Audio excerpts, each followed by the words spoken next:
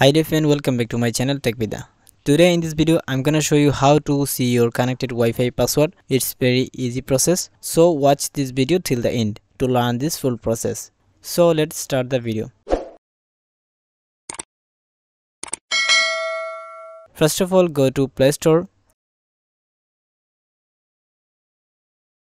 and search here QR code scanner then install this second one.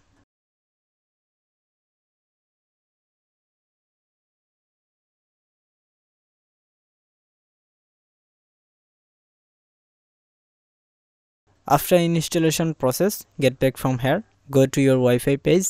Make sure your wi-fi is connected. Then tap on your connected wi-fi ssid name. After that take screenshot of your wi-fi qr code. That's it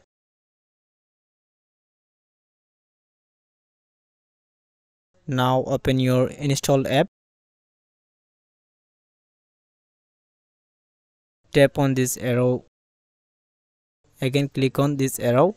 Then here click on accept. Now click on scan image.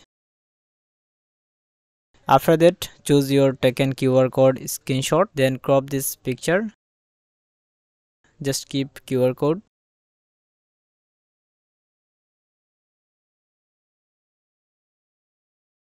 Now click on this tick icon. Finally, you will see here your Wi-Fi name, security type and password. That is your connected Wi-Fi password. You can also copy password from here below. I hope now you can easily get your connected Wi-Fi password. If you face any types of Android problem, please let me know in the comment. I will try my best to help you. So friend, if you think this video is little helpful for you, please don't forget to subscribe my channel and like, comment, share. Thanks for watching this video.